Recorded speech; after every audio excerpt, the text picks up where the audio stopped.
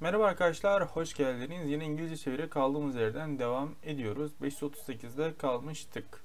Soon Friday started to understand many of my sentences in the present. Soon buradan yakın zamanda, kısa sürede diyebiliriz. Friday burada isim, büyük harfle yazmış. Daha öncesinde zaten görmüştük bu ismi. Started to, bir şeye başladı, understand, anlamak, anlamaya başladı. Many of my sentences.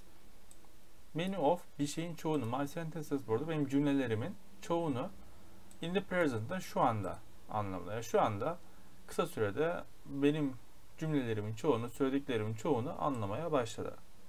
He also started to use some words. O ayrıca birkaç kelime de kullanmaya başladı. His pronunciation was very bad at the beginning. Onun pronunciation telaffuzu was very bad. Çok kötüydü. Ne zaman? At the beginning. Begin burada başlama zaten. At the beginning'de başlangıçta başında onun telaffuzu çok kötüydü. But it wasn't important for me. Ama bu benim için for me important önemli. Önemli değildi. I understood him. Understood, understanding geçmiş hali. Ben onu anlardım, anlıyordum. And I was very happy that somebody spoke to me.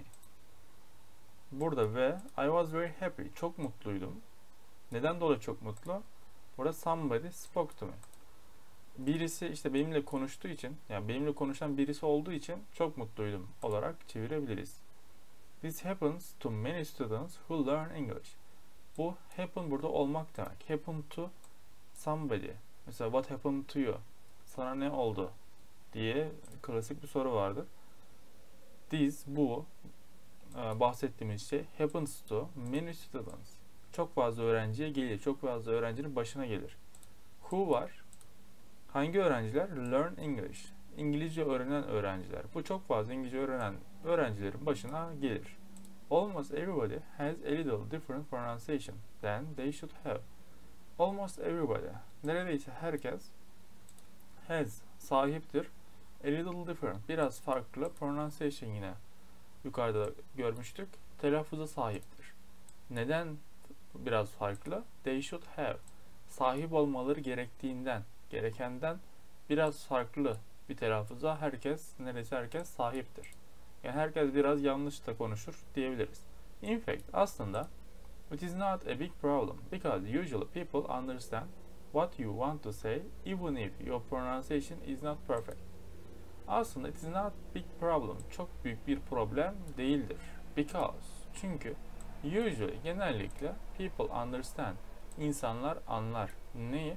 What you want to say ne demek istediğini insanlar genellikle anlar. Even if şöyle olsa bile your pronunciation is not perfect.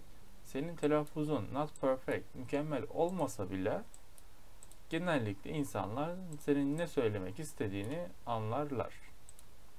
When I speak, burada bende de normal cümle var. Yani bu olduğunda, konuştuğum zaman One of the girls in the class asks me One of the girls, kızlardan birisi. Nerede kızlardan birisi? In the class. Sınıftaki kızlardan birisi bana sorar. What happened to your voice? Senin sesine, voice ses, ne oldu? Yine bak burada what happened to you demiştik.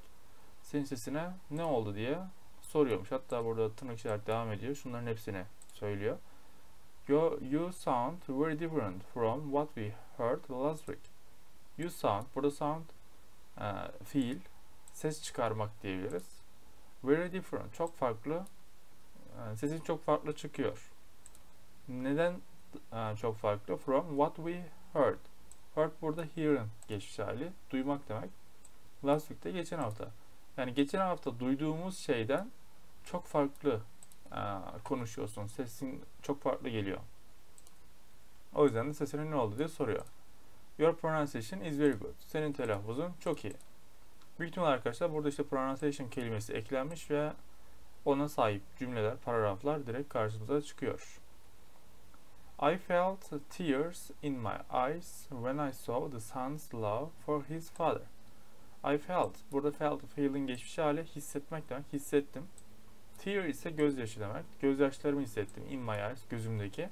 Ne zaman? Benden sonra burada yardımcı fiil yok. O zaman şu olduğu zaman bunu hissetmiş. I saw, saw fiilinin geçmiş hali görmek demek. The sons, burada hikayede bahsedilen bir çocuk var. The'dan bunu anlıyoruz. Onun love. Burada sans aa, sahiplik eki var. O yüzden buradaki love sevmek değil, sevgi diyebiliriz. İsim yani. For his father. Babası için aa, olan yani çocuğun babasına olan sevgisini gördüğüm zaman gözlerimdeki o gözyaşını hissettim. When we left the island yine benden sonra o cümle var. Biz adayı left burada leaving geçmiş hali terk etmek demek. Terk ettiğimiz zaman I had a strange feeling. Strange burada garip demek. Feeling ise burada yine isim e, his, duygu. Garip bir his vardı. Yani garip hissediyordum. I also felt tears in my eyes. Yine aynı cümle yukarıda vardı. Ben ayrıca also felt hissettim. İşte gözlerimde yaş hissettim. I like this place very much. Ben bu yeri çok fazla sevmiştim. It was my home for a long time. O benim evimdi. For'dan sonra bir zaman geliyorsa o süreç boyunca olarak çeviriyorduk. Long time burada uzun süre. Uzun süre boyunca orası benim evimdi. I thought, thought burada thinking geçmiş hali. Düşündüm. Neyi düşünmüşüm? I will never see this place again. Bu yeri tekrar hiç göremeyeceğimi düşündüm. However, ama you can work on your pronunciation and make it better.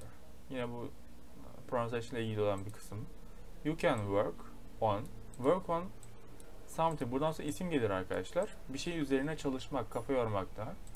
You can work on your pronunciation. Telaffuzuna çalışabilirsin. And make it better. Make it, bunu yapmak. Better da daha iyi. Good, better, best. Good iyi, better daha iyi, best ise en iyi. Burada işte normal sıfat, comparative, superlative duymuşsunuzdur. Onu daha iyi yapabilirsin. Hatta mesela you can make it best ve the best da diyebiliriz. En iyisini yapabilirsin. En iyisi yapabilirsin gibi de olur. İşte burada pronunciation üzerine pronunciation'la bu telaffuzunla çalışabilirsin ve onu daha iyi yapabilirsin. There is a great technique which can help you a lot. There is, var, a great technique. Burada teknik zaten Türkçe'de de teknik. Ee, harika bir teknik varmış. Yine which var. Hani nasıl bir teknik bu? Can help you a lot. Sana çok fazla yardım edebilecek harika bir teknik var demiş. Yine arkadaşlar yeni sayfaya geçtik. Yine 8 dakika falan oldu.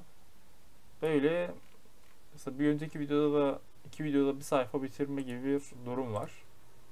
Böyle ilerleyelim. Burada kalalım. Umarım faydalı olmuştur arkadaşlar. Yine sorularınızı anlamadığınız yer, katılmadığınız yerler falan varsa yorum kısmına yazabilirsiniz. Haydi görüşürüz. Bay bay.